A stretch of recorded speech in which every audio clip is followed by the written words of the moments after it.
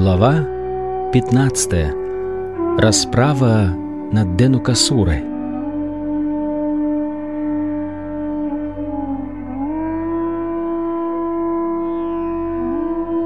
Минули ранние детские годы, называемые Каумара, и Шри Кришна со своим старшим братом Баларамой достигли возраста Пауганда от 5 до 10 лет.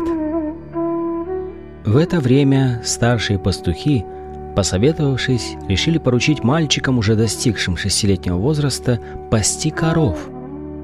Когда Кришна и Балрама выгоняли коров на пастбище, они проходили по земле Вриндавана, освещая ее следами своих лотосных стоп.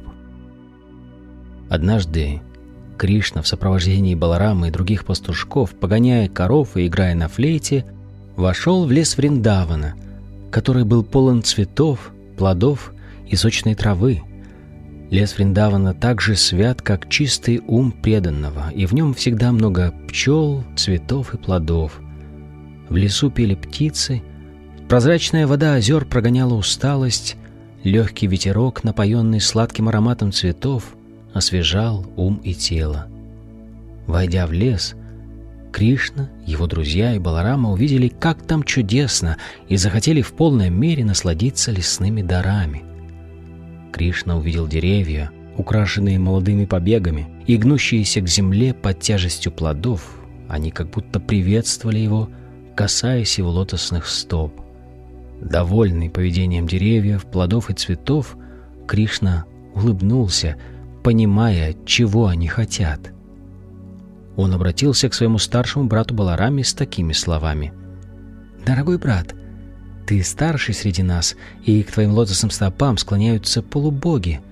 Посмотри, эти деревья, сгибающиеся под тяжестью плодов и цветов, тоже склонились к твоим стопам. Кажется, будто они пытаются вырваться из тьмы, обрекшие их на существование в телах деревьев. Деревья, выросшие на земле Вриндавана, — это необычные живые существа. В прошлой жизни — они придерживались философии имперсонализма и потому сейчас обречены на неподвижное существование. И вот теперь они получили возможность увидеть тебя во Вриндаване и молят тебя побыть рядом с ними, чтобы они снова вернулись на духовный путь. Обычно тела деревьев получают те живые существа, которые находятся в гуне тьмы. Философы-имперсоналисты тоже находятся во тьме, но могут избежать ее, в полной мере воспользовавшись твоим присутствием. Я думаю, что шмели, жужжащие вокруг тебя, в прошлой жизни были твоими преданными. Они не хотят расставаться с тобой, потому что на свете не найти лучшего, более любящего господина, чем ты. Ты Всевышний, изначальная личность Бога, и шмели своим жужжанием неустанно поют тебе хвалу. Я думаю, некоторые из них в прошлом были великими мудрецами, твоими преданными, и сейчас скрываются в облике шмелей, ибо не хотят расставаться с тобой ни на минуту. Дорогой брат, ты верховный почитаемый Бог. Посмотри, в каком самозабвении танцуют перед тобой павлины. Лани ведут себя в точности, как гопи, и приветствуют тебя с такой же любовью. Кукушки, живущие в этом лесу, тоже приветствуют тебя радостным нежным пением ибо считают твое появление в их обители в высшей степени благотворным. Даже находясь в облике деревьев и животных, эти обитатели Вриндавана прославляют тебя. Они готовы от всего сердца приветствовать тебя, как одна великая душа приветствует другую. И земля эта безмерно благочестива и удачлива, потому что ее украшают следы твоих лотосных стоп. Для обитателей Вриндавана вполне естественно оказывать подобный прием такой великой душе, как ты. Травы, лианы и другие растения тоже радуются возможности коснуться твоих лотосных стоп. Когда ты трогаешь молодые веточки, это великая удача для них. Холмам и рекам тоже повезло, потому что они удостоились твоего взгляда. Но больше всех повезло девушкам Враджа, Гопи — Привлеченный их красотой, ты обнимаешь их своими сильными руками. Так Господь Кришна и Баларама с великой радостью общались с обитателями Вриндавана, когда пасли коров и телят на берегу Ямуны. Иногда их сопровождали другие пастушки, их друзья. Когда они шли рядом с Кришной и Баларамой, украшенными гирляндами из лесных цветов, они пели, подражая жужжанию шмелей. По дороге пастушки издавали звуки, похожие на курлыканье лебедей на озерах, и когда видели танцующих павлинов, передразнивали их, чтобы позабавить Кришну.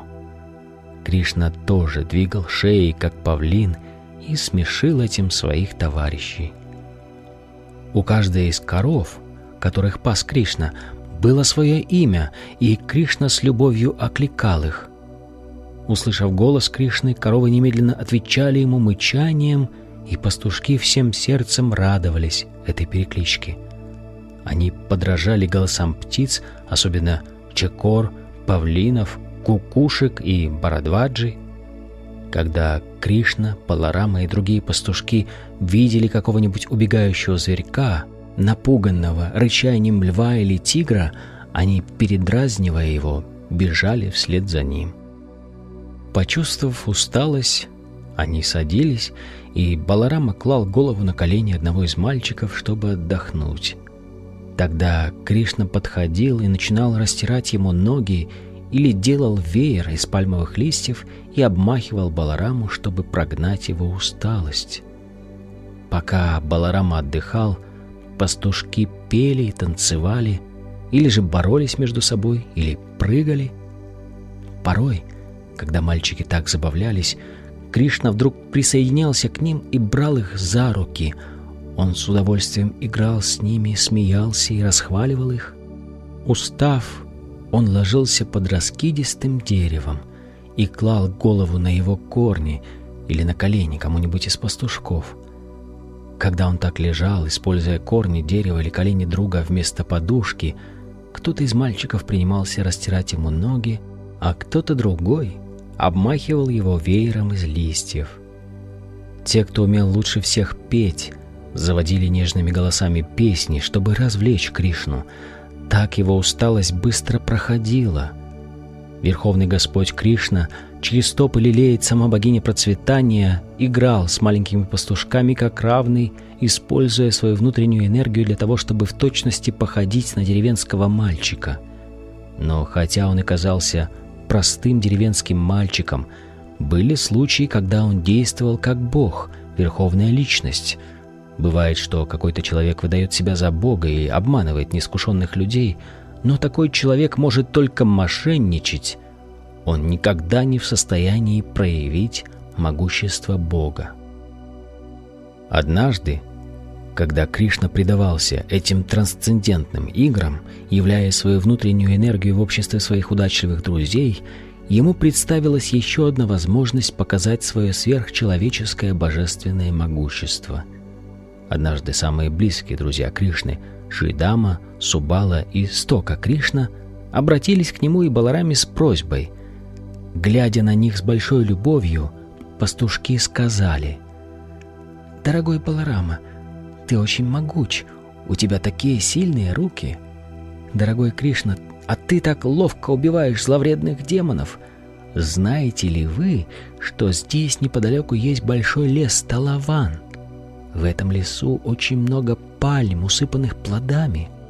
Некоторые из плодов уже упали, а другие, совсем зрелые, еще висят на деревьях.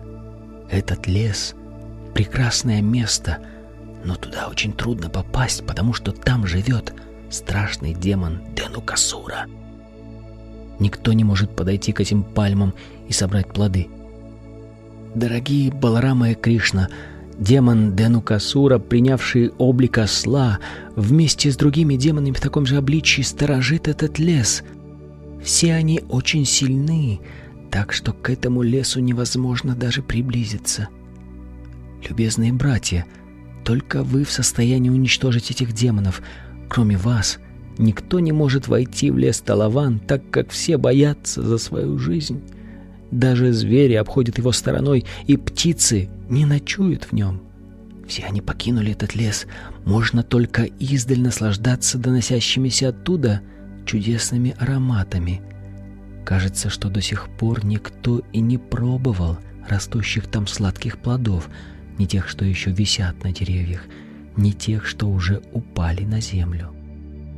Дорогой Кришна, честно говоря, нас очень привлекают ароматы этого леса. Дорогой Баларама, пойдем туда и отведаем этих плодов. Их благоухание теперь разносится повсюду. Разве ты не чувствуешь его здесь? Услышав просьбы друзей, Баларама и Кришна захотели порадовать их. Всей гурьбой они направились к лесу Талаван. Как только Баларама вошел в лес, он стал руками трясти растущие там деревья с силой, равной силе слона. Все спелые плоды тут же посыпались на землю. Услышав стук падающих плодов, демон Денукасура, живший в этом лесу в обличье осла, бросился к пришельцам, сотрясая все вокруг с такой силой, что деревья закачались, и казалось, будто началось землетрясение. Демон подбежал сначала к Балараме и легнул его в грудь с задними ногами. Баларама молча принял удар, но демон в ярости ударил его еще сильнее. На этот раз Баларам одной рукой поймал его за задние ноги, раскрутил и закинул на дерево. Демон испустил дух, еще когда Баларама раскручил его, и теперь повис на самой высокой пальме. Но тело демона было таким тяжелым, что пальма сломалась и упала на другие деревья, повалив некоторые из них. Казалось, будто по лесу проносится сильный ураганный ветер, валящий деревья одно за другим — в этом проявлении невероятной силы нет ничего удивительного, поскольку Баларама — Верховный Господь, известный как Ананта Шеша Нага, который на миллионах своих голов держит все планеты Вселенной. Он образует основу всего мироздания, как поперечная и продольная нити образуют основу ткани.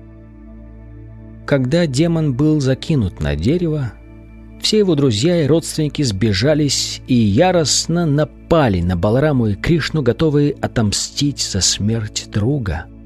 Но Кришна и Баларама точно так же хватали ослов и раскручивали их, держа за задние ноги.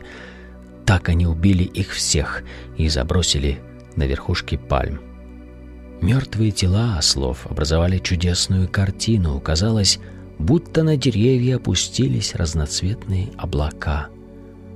Услышав об этом удивительном происшествии, полубоги с высших планет принялись осыпать Кришну и Балраму цветами. Ликуя, они били в барабаны и возносили молитвы, проникнутые преданностью.